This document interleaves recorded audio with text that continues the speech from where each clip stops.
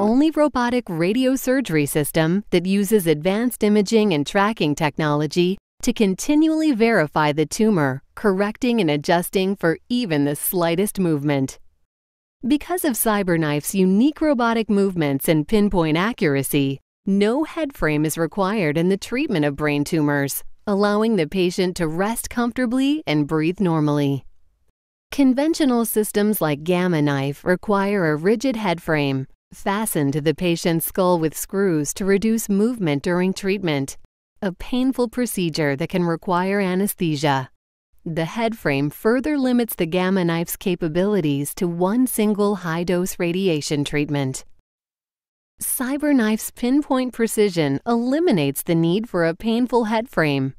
Certain brain tumors show a more positive response from two to five treatments, which only CyberKnife can provide.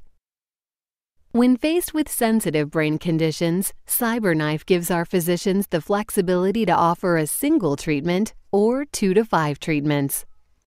CyberKnife's unique robotic design, coupled with its advanced tracking and imaging technology, further allows your doctor to approach the tumor from the most advantageous angle possible. Without an invasive head frame, CyberKnife becomes a full-body radiosurgery system.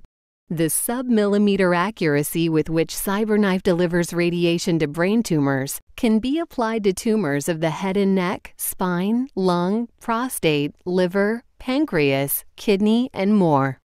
Precision matters. CyberKnife delivers surgical precision without surgery.